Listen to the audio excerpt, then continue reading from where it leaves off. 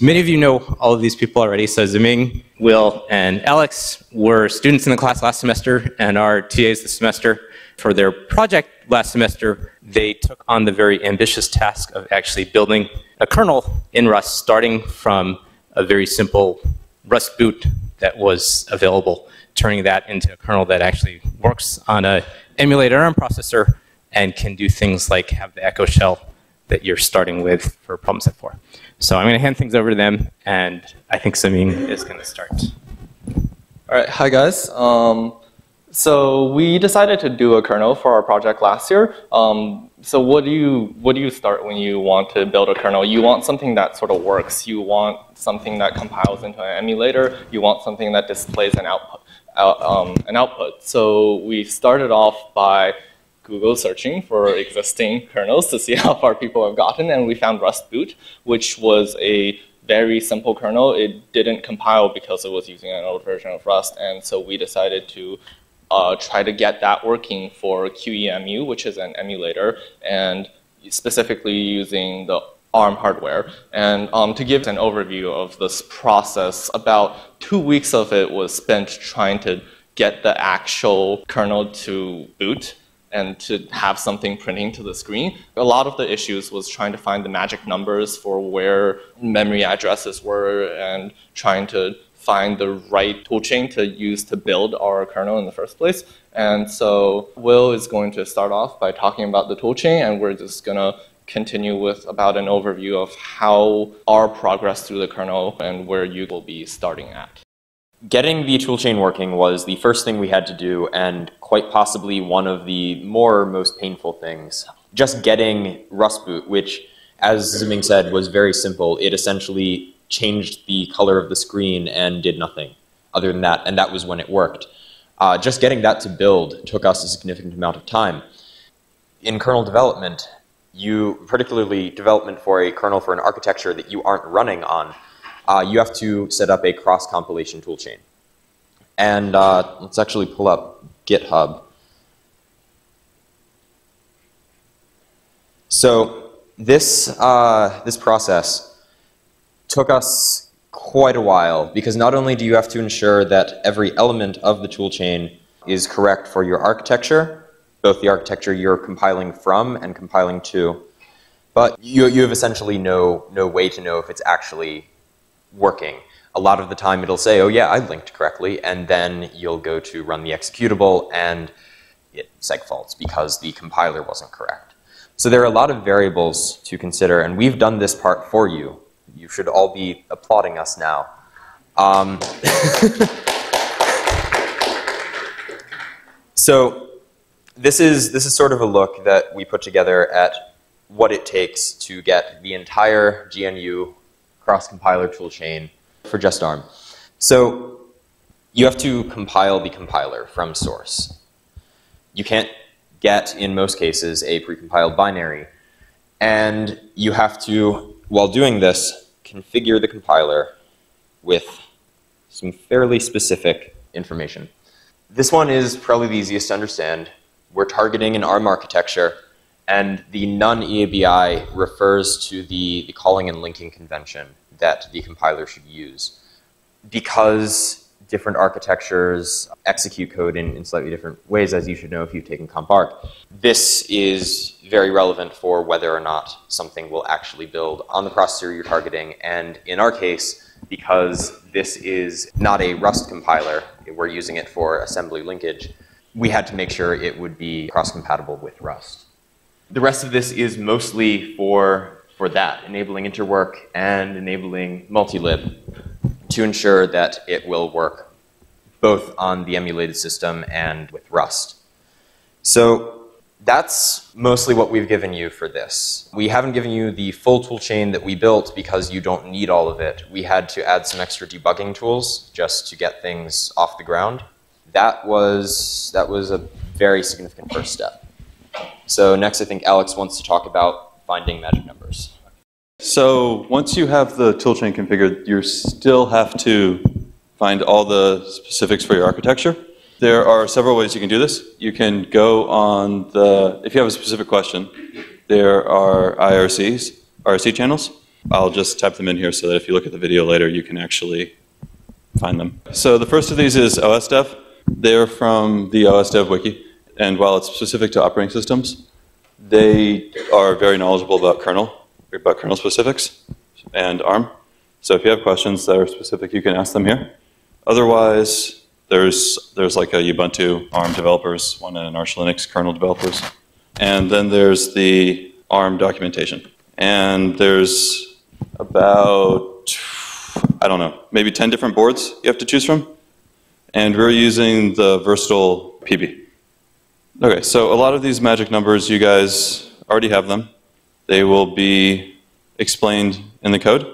There's normally a link to the documentation there to explain where they're from and what they do. Most of them, you can change them if you want, but you'll probably segfault. And a lot of those have to do with, like here, um, this, well, this is for the interrupt table.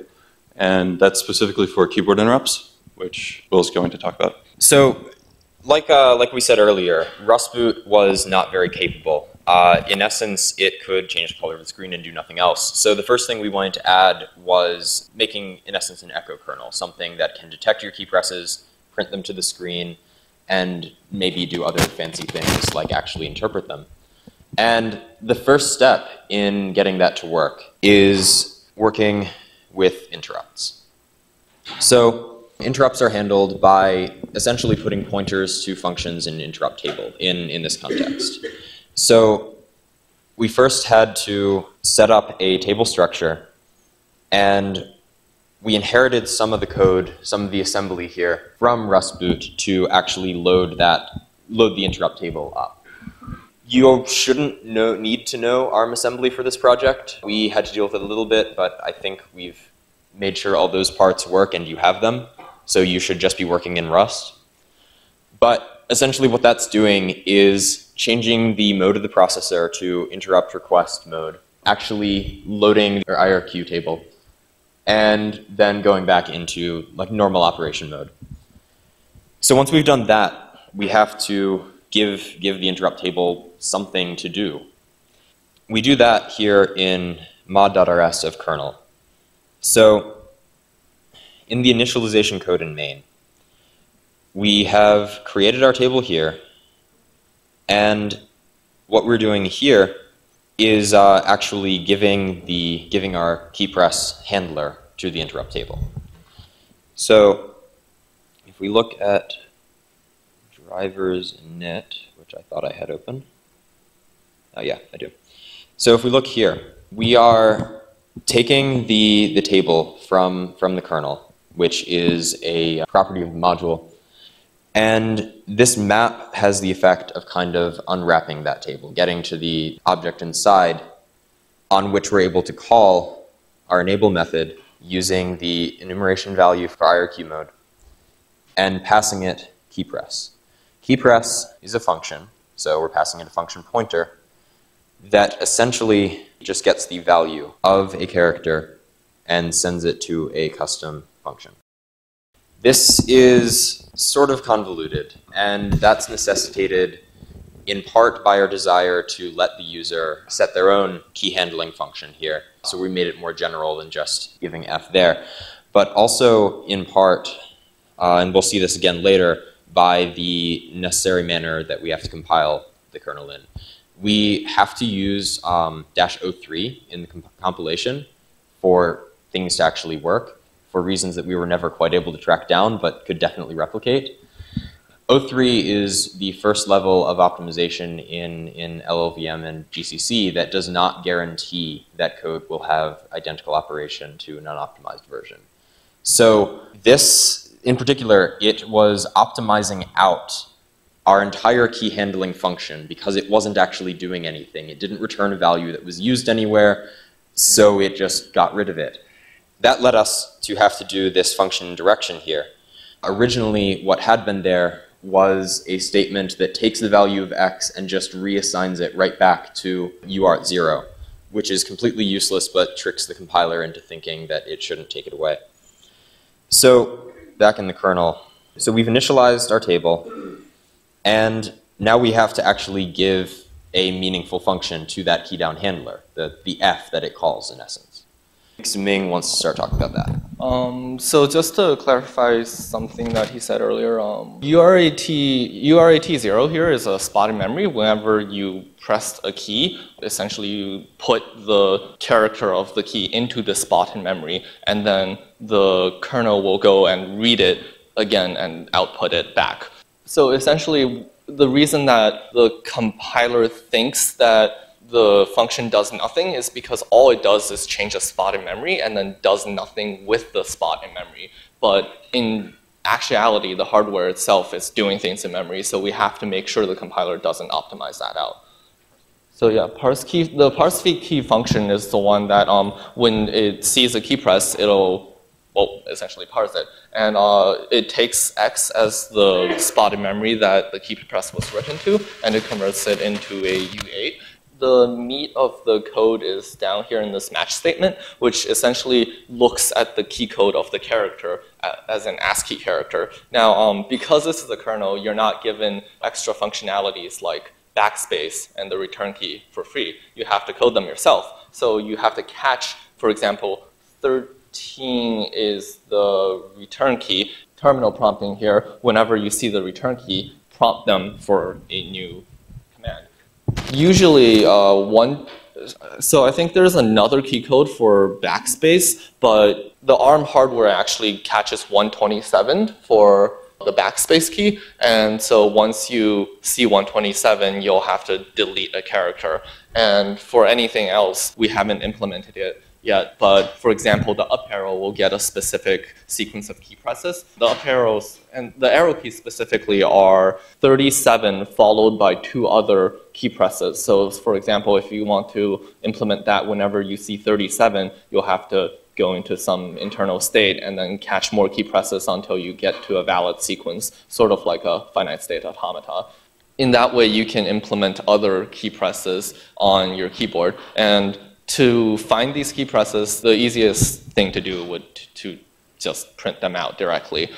Yeah, and that is what we did. Here down the key code function, it's a very convoluted function uh, to essentially, it takes a mod and then it takes a mod to get the least significant digit and prints it out. You guys know all of that. The other thing that the kernel doesn't give you is the ability to use strings. So all you get is a primitives provided by the Rust compiler, such as character, U8, uint. So in order to do something like to use strings, you have to use the memory allocator that was provided to you in this project. The memory allocator uses this buddy block allocation system. Uh, the buddy block allocation system is um, a system where when giving a block in memory, you and you want to allocate a certain amount, you'll keep on having the amount that of the total memory until you can fit it in. And essentially it creates like a binary tree structure from your memory and it'll fit it in the smallest possible power of two that contains the memory that you want to allocate for. Once you allocate a stretch of memory using the allocation system, you'll have to actually make your own string structure which operates on the memory itself instead of any like original function that you might have had in Java or even Rust for string operations. So you have to keep in mind some things like setting the last character of the string to uh, backslash zero or keeping a length attribute on the string and oh look here's our IronKernel prompt isn't it cool it's it's it's a circle with an R in it anyways Yes, it's a Rust logo. Uh, here is our string struct. Um, it keeps a pointer to where the location in memory of the string is, and it keeps where the current location is and the maximum size of the string buffer. After you implemented strings, you'll be able to read in the key codes, save them to a buffer, and then maybe output them and do other more complex things with them. And uh, the, the, the, necessity for these strings is, is more so a function of the fact that we're using Rust here. By having to decouple Rust from its runtime, we lose a lot of the built-in libraries and things that it gives you. Rust core, uh, which is sort of like a, a standalone library for Rust, implements some of these, but at the time we were writing this, it didn't have strings implemented fully or really at all, which, yeah, it still doesn't, which is really why we had to write this. If any of you have run IronKernel yet, you'll notice that it pops up two screens. The, oh, hang on, we're going to run it.